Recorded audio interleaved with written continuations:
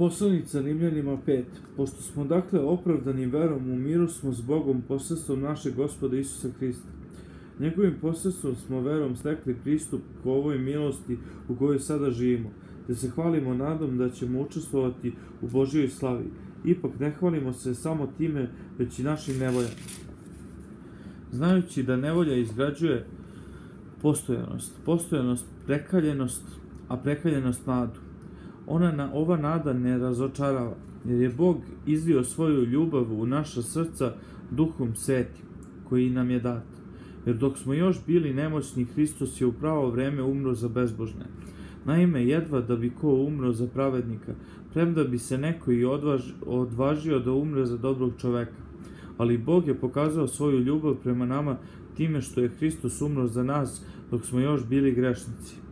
Koliko ćemo se više sada, pošto smo opravdani njegovom krvlju, izbaviti od Božijeg gneva njegovim posredstvom? Pa kad smo se izmirili s Bogom smrću njegovog sina, dok smo još bili Božiji neprijatelji, koliko ćemo pre biti spaseni njegovim životom sad kad smo izmireni? I ne samo to, nego se i radujemo pred Bogom zbog onog što je učinio kroz našeg gospoda Isusa Hrista. Čini smo posredstvom izmireni sa Bogom.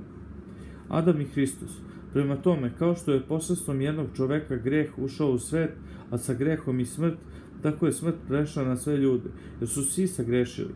Greh je naime postojao na svetu i pre nego što je dat zakon, ali se greh ne uračunava kad nema zakona. Ipak smrt je carevala od Adama do Mojsije i nad onima koji nisu zgrešili sličnim prestupom kao Adam, koji je pralik onoga koji je trebalo da dođe. Ali milost nije pop, poput prestupa. Naime, koliko su prestupom jednog čoveka mnogi umrli, toliko se obilnije izvila na mnoge Božija milost i dar dan milošću jednog čoveka, Isusa Hrista. Takođe ima razlike između dara Božije milosti i greha jednog čoveka. Osuda jednog greha je dovela do presude, dok je dar milosti i nakon mnogih prestupa doveo do opravdanja. Jer ako je prestupom jednog čoveka preko njega nastupila vladavina smrti, koliko će pre oni koji primaju izobilje Božije milosti i Božiji dar pravednosti vladati u životu posredstvom Isusa Hrista.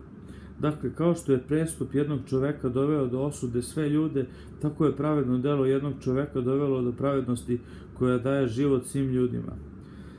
Kao što su ne, neposlušnošću jednog čoveka mnogo mnogi postali grešni, tako će poslušnošću jednoga mnogi biti učinjeni pravednima. Zakon je uveden da se prestup uveća, a tamo gde se greh uvećao, onda se milost Božija prebogato izlila.